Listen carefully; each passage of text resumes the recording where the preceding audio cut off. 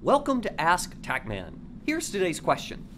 Dear TaqMan, I'm a devoted StepOnePlus real-time PCR system user. Yesterday, I made a huge mistake while setting up my experiment in the software. Namely, after I started my experiment, I realized I'd forgotten to label a row of wells that contained samples. Can my run be salvaged, or is it trash? Sincerely, Stressed.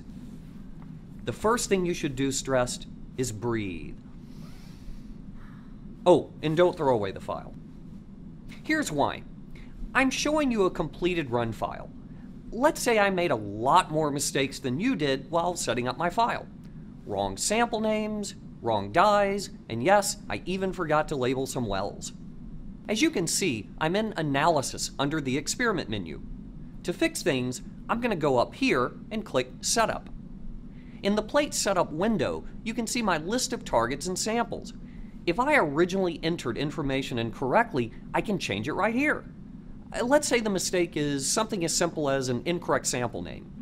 I activate the offending box, type the new name, and hit enter. I now go to my plate map, which I access by clicking this tab. And I find that the new sample name has been added to the appropriate wells automatically. Okay, let's go back to define targets and samples.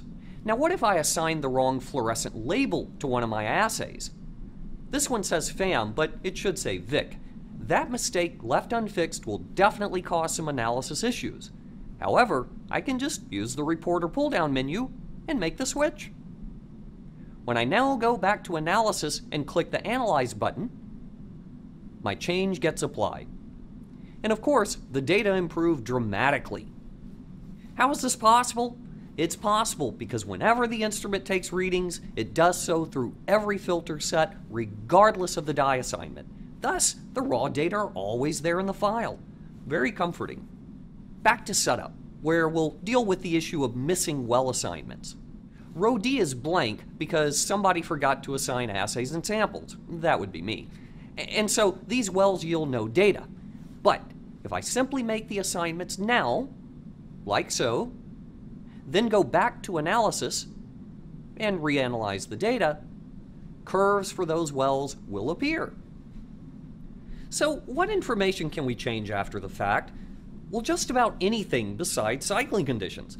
That includes sample and assay names, tasks, such as which wells are labeled as standards, uh, standard amounts, the passive reference dye, and lots more.